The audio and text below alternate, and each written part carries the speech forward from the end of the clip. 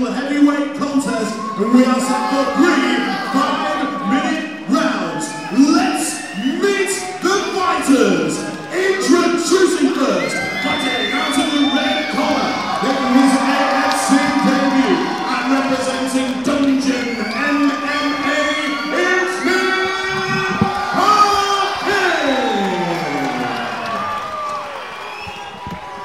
And his opponent standing across the cage, fighting out of the blue corner with an AFC record, one win, nine defeats, representing Max's Gym, it's Thomas the!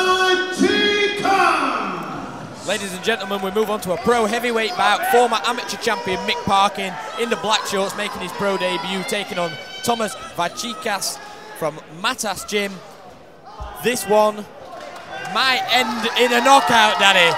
Maybe. I think it might just end in a knockout. Here we go. Former amateur heavyweight champion Mick Parkin in the black shorts on a big body kick to open the trade right hands.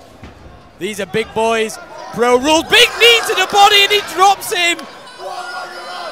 Mick Parkin just laid on top with them uh, ground and pound shots. All Neil Hall done, calls a stop after over. three shots.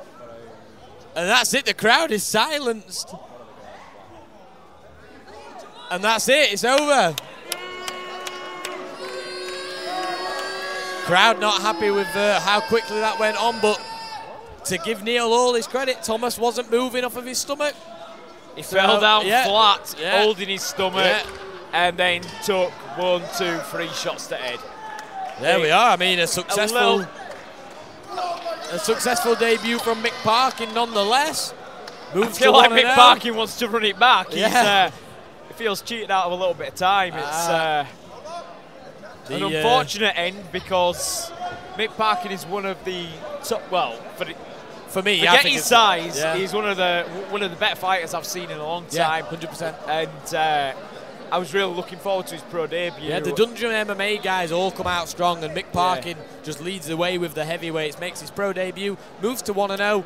Davey Baumer in his corner, Ant in his corner, Justin Burlinson in his corner. Great team, and you know, nonetheless, it's a win, it's, a win, victory. it's in the books, He'll move uh, on to his next one. We'll hand it over to. Lee Nicholson.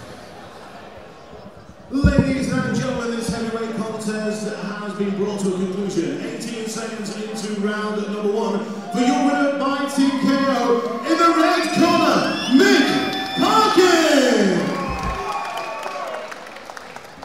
appreciation for Tomas Vaicikas.